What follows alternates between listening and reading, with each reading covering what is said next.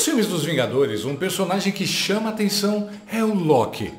Ele começou como vilão, virou anti-herói e morreu quase como herói. A lealdade de Loki sempre mudou com o vento. Primeiro atacava os heróis, depois se unia aos heróis, depois traía os heróis, depois ajudava os heróis. Tudo ao sabor de sua necessidade. Loki era esperto, sempre se juntava ao grupo que tinha mais chances de vencer. Mais ou menos como a Globo, que desde os anos 60 sempre apoiou o regime no poder, até perceber que o regime estava para sair do poder. Ontem, ela deu uma de Loki e sinalizou mais uma virada de casaca. A Globo mostrou a manifestação do Bolsonaro e não falou mal dela.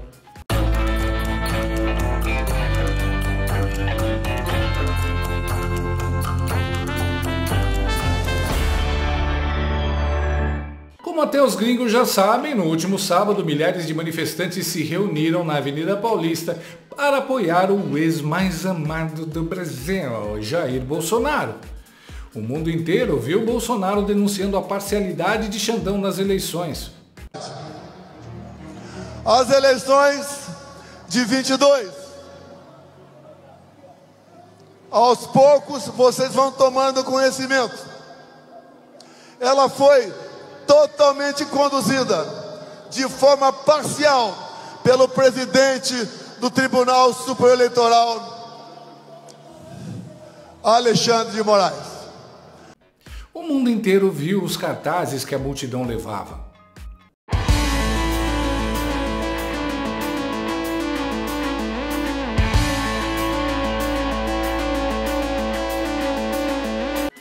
Mundo inteiro viu os brasileiros lutando por sua liberdade contra a tirania em pleno dia da independência.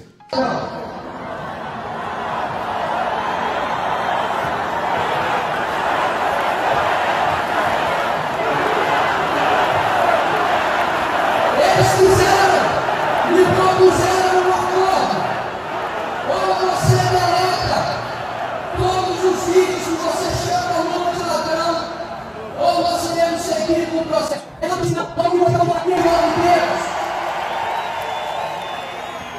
Presidente do Congresso Nacional, Rodrigo Pacheco, disse que pressão nenhuma irá E tão importante quanto tudo isso, o mundo inteiro viu o evento de Lula e Xandão sem povo no mesmo dia e sentiu aquela vibe estranha de desfile na Coreia do Norte.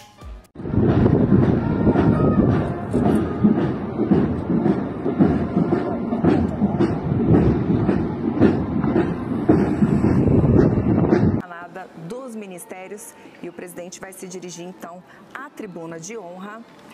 Né, para dar início daqui a pouquinho ao desfile. Enquanto isso, quero já mandar um beijo, um abraço para o pessoal da Rádio URB de São Não tem jeito, ditaduras são indisfarçáveis. Por mais que tentem posar de democracia, elas têm um jeitão que é só delas. E a comparação entre os eventos foi inevitável.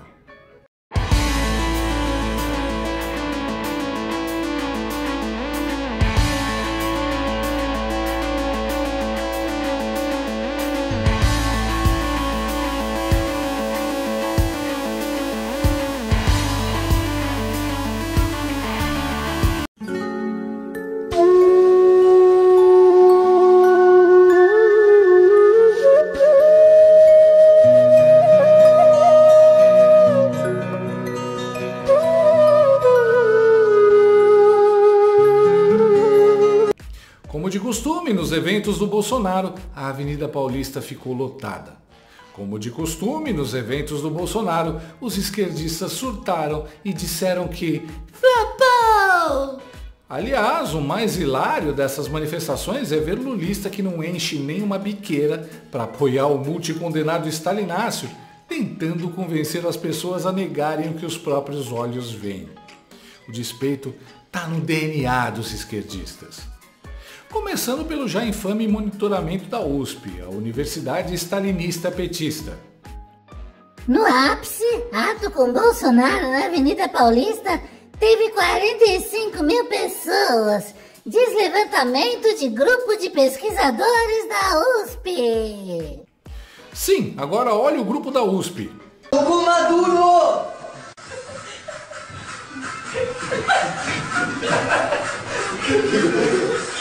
As mãos pra cima, cintura solta, só do levante, tocou maduro.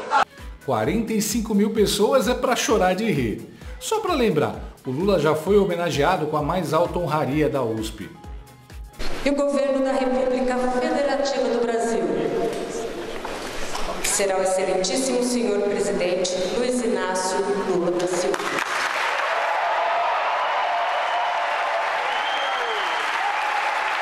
E agora eu sei por quê. Nenhum dos dois sabe fazer conta. A mentira desaba quando a gente compara. A velha mídia diz que havia 20 mil na esplanada.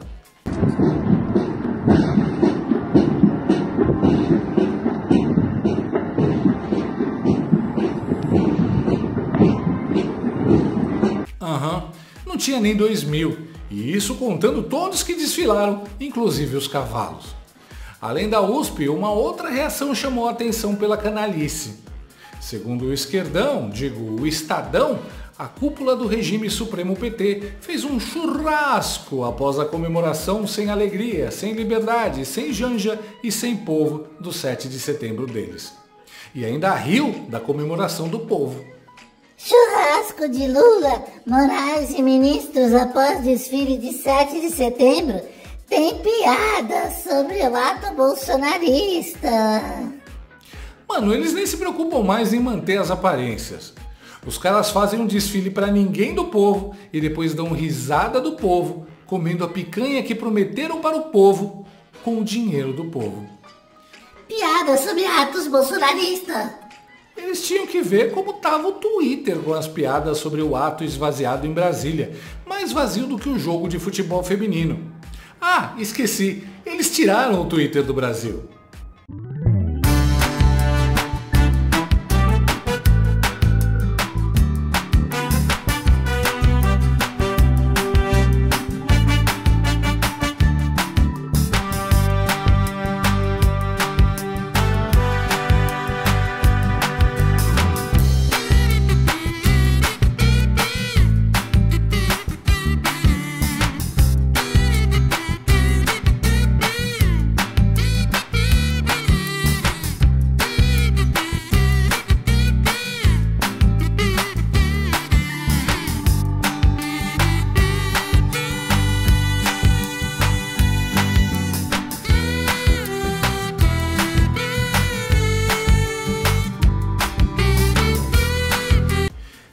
Nas tribunas de honra, esses sujeitos exibem com orgulho suas máscaras de falsa integridade e assistem ao desfile da pátria com sorrisos ensaiados.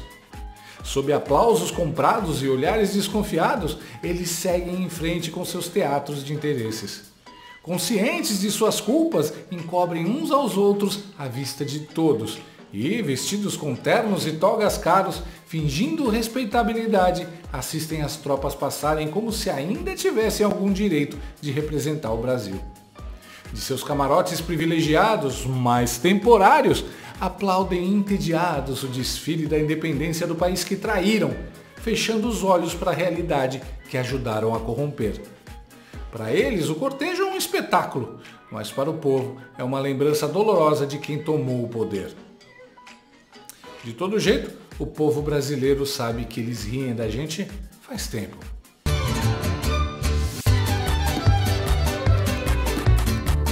Deixa o Trump ganhar nos Estados Unidos. Eu quero ver essa felicidade acabar. Além do mais, sua xandidade não estava com uma cara de muito confortável, não.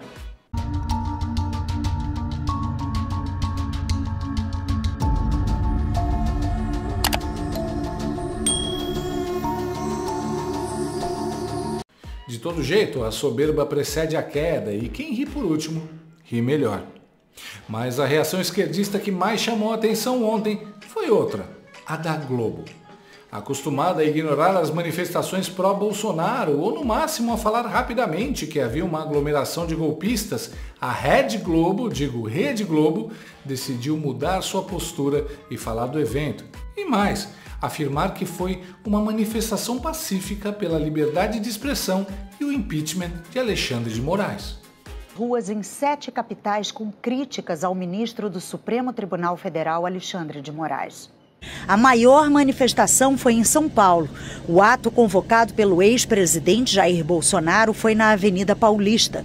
Ao longo de cinco quadras havia manifestantes, mas a maior parte deles se concentrou em dois quarteirões em frente ao MASP. Na pauta do protesto, críticas ao ministro do Supremo, Alexandre de Moraes, pela condução do inquérito das fake news, pela suspensão da rede social X no Brasil e pelo julgamento dos réus pelos atos antidemocráticos de 8 de janeiro. Os manifestantes pediram o impeachment do ministro com a abertura do processo pelo Senado Federal. Ao contrário do que aconteceu em mobilizações anteriores convocadas ou em apoio a Bolsonaro, desta vez os manifestantes não levaram cartazes com pedidos de intervenção militar ou outros pedidos inconstitucionais. O governador de São Paulo, Tarcísio de Freitas, do Republicanos, e três candidatos a prefeito de São Paulo estiveram presentes: Ricardo Nunes, do MDB, Pablo Marçal, do PRTB e Marina Helena, do Novo. No discurso, Jair Bolsonaro criticou o governo atual, atacou Lula e defendeu sua própria administração na presidência. Pediu a anistia de todos os condenados envolvidos nos atos antidemocráticos de 8 de janeiro do ano passado e voltou a atacar o processo eleitoral de 2022, que, segundo ele, foi conduzido de forma parcial por Alexandre de Moraes, então presidente do Tribunal Superior Eleitoral. Bolsonaro concluiu chamando Alexandre de ditador e pedindo que o Senado bote um freio no Eu estou em choque. O Jornal Nacional da Globo ontem mostrou a manifestação depois de vários anos escondendo elas. Não citou as estimativas toscas de cálculo da USP de 45 mil pessoas presentes. Apresentou as informações de forma isenta sem emitir opinião. Chamou o povo de apoiadores de Jair Bolsonaro em vez de bolsonaristas. Não chamou de golpista, terrorista ou de ataque às instituições não chamou de ato antidemocrático nem de extrema direita. Claro, eles falaram que Bolsonaro voltou a atacar o processo eleitoral. Falar a verdade não é atacar. Basta olhar os dois eventos para saber que quem está sendo atacada pela esquerda é a realidade. Eu acho que deu ruim para o Xandão mesmo. Se até a Globo está mostrando, provavelmente deu ruim para ele. De todo jeito, já é possível notar uma lenta, mas gradual mudança na direção dos ventos do Brasil. Tenta lembrar, na manifestação de 25 de fevereiro na Paulista, o clima era de tensão. Pessoas com medo de ir às ruas, operações e busca e apreensão da PF contra Bolsonaro e políticos ligados a Bolsonaro, sem falar na detenção do jornalista português Sérgio Tavares. Muita gente, inclusive, dando a prisão de Bolsonaro como certa e fazendo contagem regressiva. Seria o início oficial do regime do Xandão e um passo largo para o jeito Venezuela de ser. Só que dessa vez, de novo na Paulista, o cenário foi bem diferente. Elon Musk expôs para o mundo os atos de Xandão contra a liberdade de expressão. A história chamou a atenção não só dos maiores jornais do mundo, como Wall Street Journal e The Economist, como também do Congresso americano, que intimou Xandão a enviar cópias de suas decisões relacionadas ao Twitter e as publicizou para o horror de todo o mundo civilizado. O caçador virou caça e os extremistas antidemocráticos viraram o que sempre foram, conservadores sofrendo perseguição política.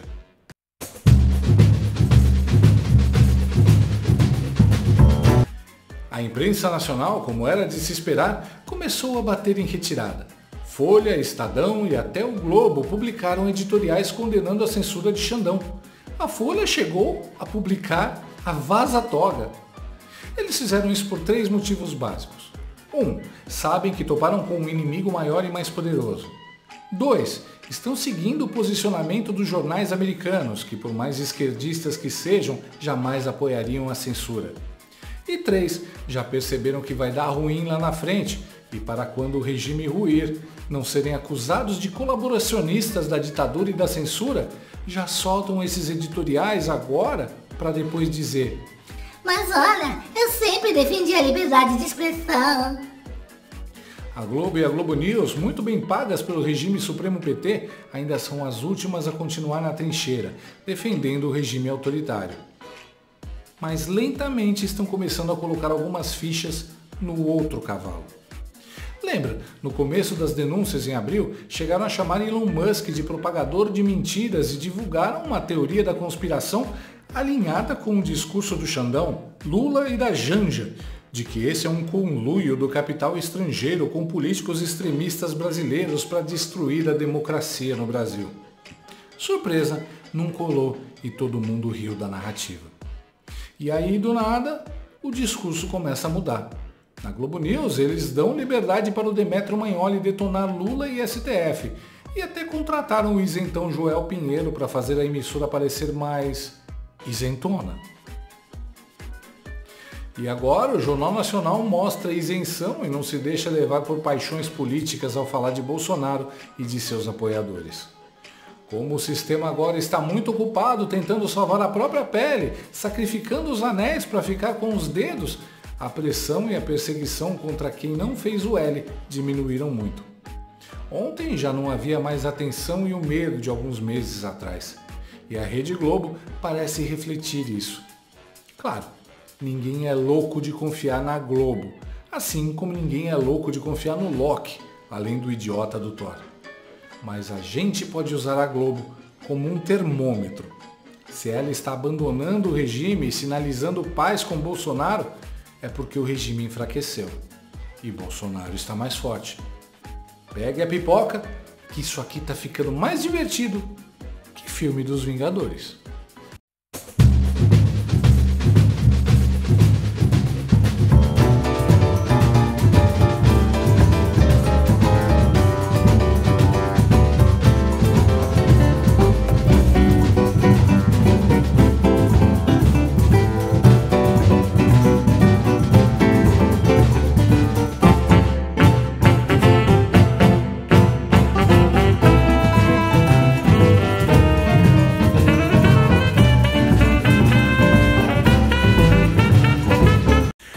Desse vídeo?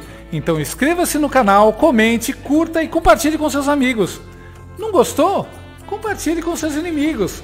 Até o próximo vídeo, se o mundo não acabar antes. Por hoje é só.